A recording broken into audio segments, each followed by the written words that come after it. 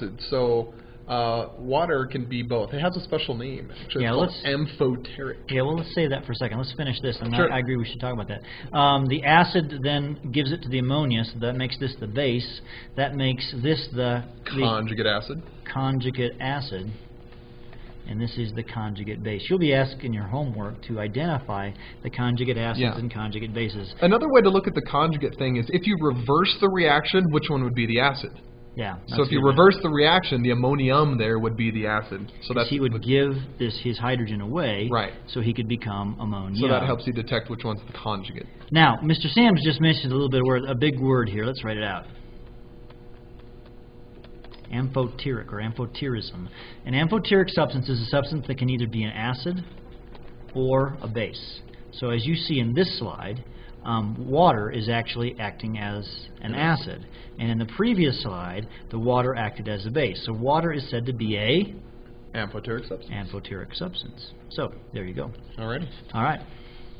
Now, that also leads us to this concept of the acid dissociation constant, which means that um, some acids are strong and some acids are weak, Mm-hmm. which we should probably talk about. Actually, we do right here. We kind of is this out of order? Mm, I think since all right. it's equilibrium. Yeah, section- we can do. It. We've already talked about equilibrium. Yeah. So let's take that reaction that we had just a minute ago, HC2H3O2. Um, this is um, acetic acid. We could just say that it dissociates into hydrogens plus acetates. Right. Now, all he's done here is he's basically removed water from the equation. He removed the water molecule on the left, and he removed the water ness from the hydronium ion from the right. Let's write it both ways, Yeah, let's- maybe, and then talk about the difference. Yeah. Now, if you remember in your equilibrium uh, chapter, the last chapter, chapter 13, um, we do not write solids or liquids in our equilibrium expression. So, by removing liquid water from this equilibrium from the equation, it makes the equilibrium easier to write because we don't have to ignore anything. We just get rid of it ahead of time. So I'm putting all the states of matter in all these. Yeah. So we have aqueous here, aqueous, aqueous, aqueous, liquid, aqueous, aqueous. So now we can find the K, equilibrium constant. Now we've been learning a lot about Ks and you've gotten good with these. This is called the K, A for acid, and it is going to be just like it did before, Products the over products reactants. over the reactants, which in this case will be the hydrogen, or you could write hydronium, it would make no difference, times the acetate divided by the acetic acid. Now, a lot of students sometimes struggle a little bit with the concept that this is aqueous, but it's not dissociated. Yeah. That's a little bit weird. Why is that, Mr. Sams? Well, just like a sugar molecule, if you dissolve it in water, it's aqueous, but nothing is dissociated. Yeah. And this is an, what we call a weak acid, and weak acids do not dissociate very well. So it does dissociate, but only partially. Right. So uh, only some of them have broken apart, Right. broken so it, apart. it dissolves like a, mo- a covalent compound, but it dissociates a little bit like an ionic one. And then there are tables. The, the values of the Kas tend to be very small. So you look at the table that's in your handout there. Yeah. These are all going Um, to be less than one. Notice all these numbers are less than 1. And so you have very small numbers. Um, th this is the biggest one that I know of that's considered a weak acid, and down to uh, phenol, and you can see different atoms. In fact, you can even see here the ammonium atom, or ion, pardon me. The ammonium ion is, is, is a weak acid. Very weakly acidic. It's yeah. very weakly acidic, which we just kind of talked about just a little bit ago as a Bronsted-Lowry acid. Yep. Okay, how do we know about acids and bases in terms of their strength? Well, strong acids, it's easy to know about. What is a strong acid? Strong acids are ones that fully dissociate when you dissolve them in water. And we say 100%, it's more like 99.999 something because there's no such thing as really as 100% dissociation. But we say, for all intents and purposes, they 100% dissociate. And the word dissociate really means to break apart into ions. Now, the word dissociate actually is used out in the regular world. What does the word dissociation mean, out, excluding the concept of acids and bases? Uh, it's like when you break up something, Yeah, like you you- dissolve a company or... Yeah, you can dissociate a company. You can dissociate a relationship with Mhm. somebody. Let's say that you you are going out with a girl and uh, or a boy, and uh, you, one of you people say, "That's it, we're done. Let's Yeah. dissociate." So it's kind of the opposite of, of an association. Yeah, it's the opposite of association. All right. And then what's a weak acid? Uh, weak acids are ones that do not completely dissociate.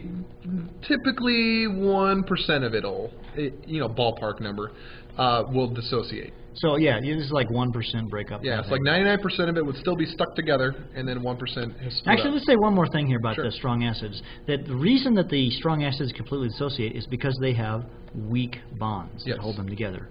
And conversely, if they A weak acid has strong a weak acid would have strong bonds. I know that sounds kind of weird, um, but that's the truth because yeah, it is. Yep. Let me uh, do a little diagram for you to help you give a perspective. If I have a strong acid, so I would like you to copy this little thing down in your notes in the note section.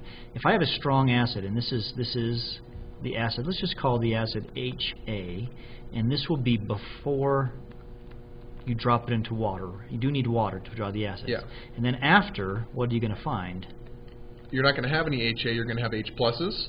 HA is this much, but H positive and A negative is going to be the same, Same as what you started with. Right. So if you had one mole of your strong acid, when you put it in the water, you're going to have one mole of hydrogen ions and one mole of the anion.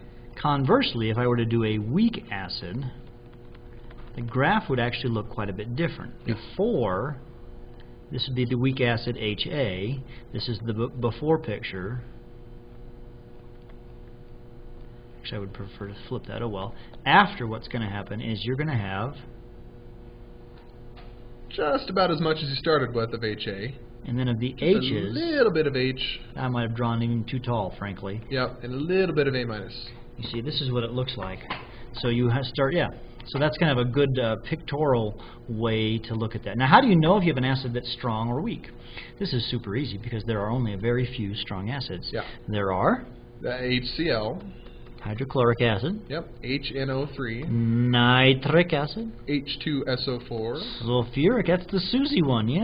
Yeah, okay. little Susie drank it. Uh, let's see. Uh, A- HClO3, chloric acid. How about Or HClO4? L4, sorry. Perchloric My acid. mistake. Uh, HI, happy acid. Hi. Hi. Hydroiodic acid. Yep. HBr. H hydrobromic acid. And those are usually the six. yeah, that's that's that's the that's Yeah, the big that's six. the list.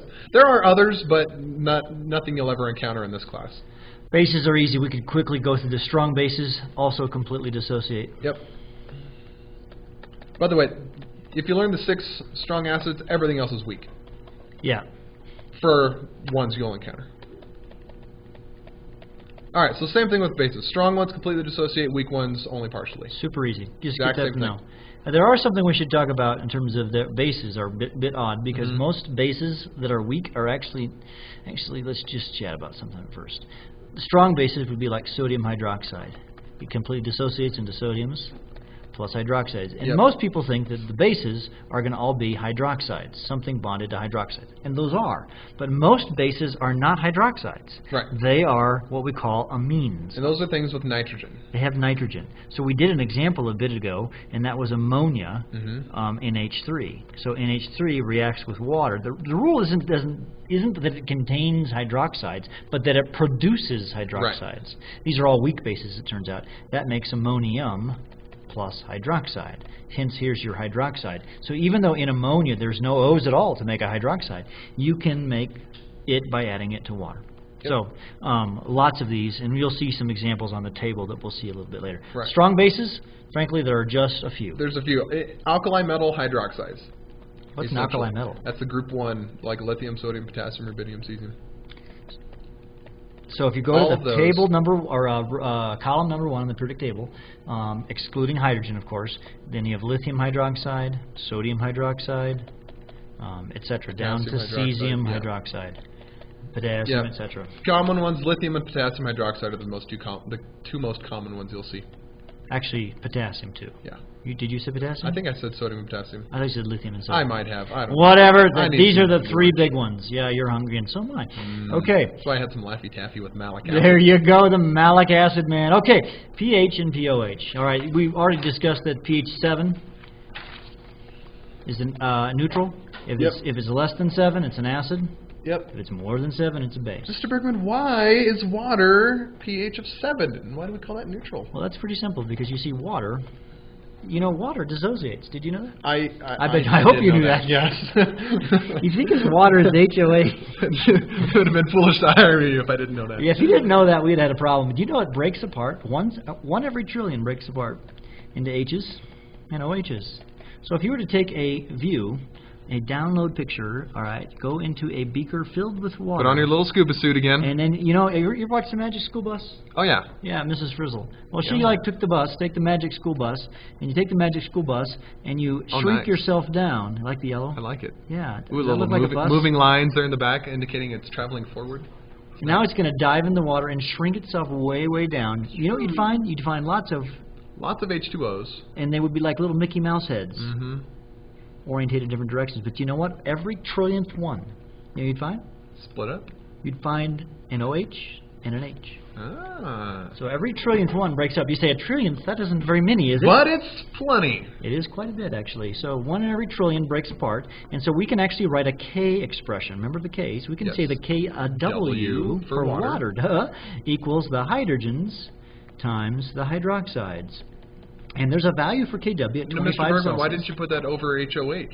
Oh, yes, a good point. Products over reactants. Well, because this Ah, is a liquid, and if it's a liquid, you do not, Not count it. Yes, good point. Include liquids in equilibrium. So um, that is equal to 1.0 times 10 to the negative 14th. Hence, the scale of 14, Ah. as you'll find out in a little bit later. Too. yes. So um, this is the KW expression, and uh, this is the value of it at 25 degrees Celsius. It's a little different, different temperatures. Mhm. Um, we won't worry too much about that. Close enough. Close enough.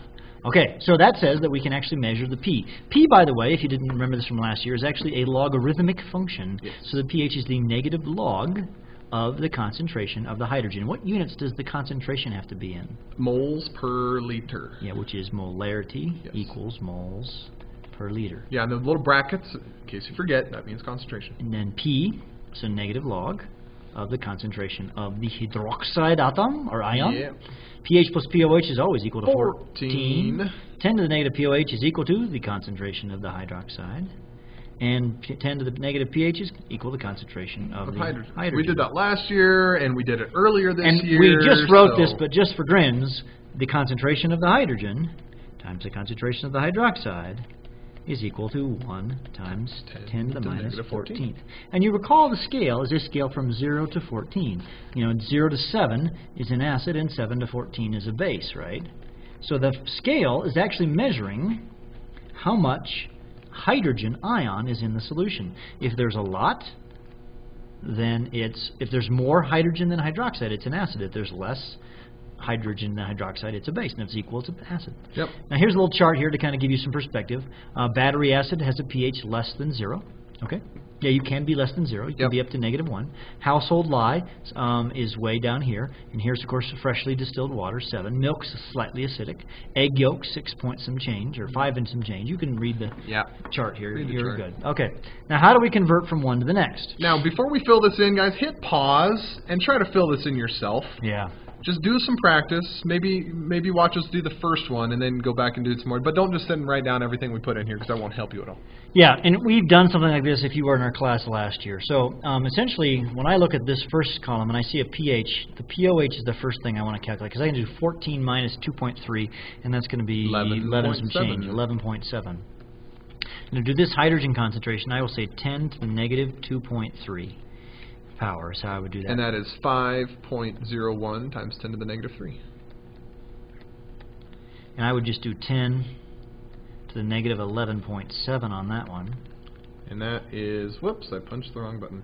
10 to the negative 11.7. We get 2 times uh, 10 to the minus... 2 times 10 to the negative 12, essentially. Now, um, by the way, how do you know if it's an acid or base? I always just look at the pH, not the pOH column. The pH is 2 and 0.3, so that makes this an acid. Yep. Now, this would be very simple. I would do 4 and a minus 4, 14 and be 9 and a 9.5. Which, I, by the way, I could just jump over here and say that's a base, right? Yep. And this would be 10 to the power of negative 9.5. And that is 3.16 times 10 to the negative 10. And this will be uh, 2 point something Uh, times 3.16 times 10 to the negative 5. Interestingly enough. Okay, now if we have this number first, the hydrogen ion, then I can take the log of this number, Negative negative log. log of that, and that will give me the pH, which would be 4.47. Subtract that from 14 gives me 9. point- 9.53. And then I could take 10 to the negative 9.53. 10 to the negative 9.53 is 2.95 times 10 to the negative 10. And that would be a what? That looks like a uh, pH 4 acid. Yep. Yeah, look in the pH. I just look at the pH.